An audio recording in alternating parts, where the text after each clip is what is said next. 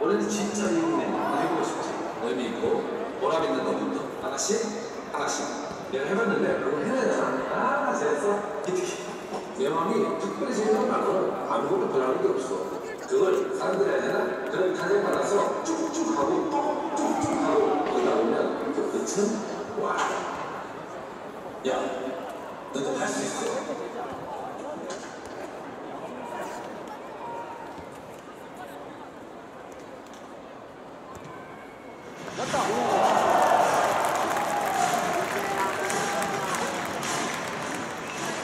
인천축구 전용 경기장을 찾아주신 관중 여러분 대단히 감사합니다.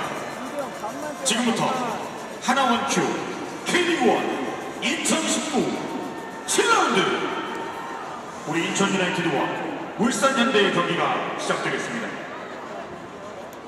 경기 시작에 앞서 오늘 경기 심판진을 소개합니다. 경기 감독관